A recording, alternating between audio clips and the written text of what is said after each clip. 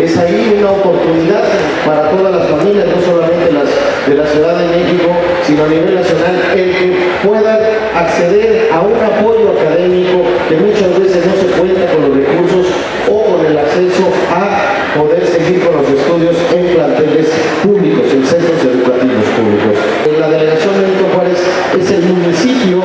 viéndolo así a nivel nacional, con el mayor nivel educativo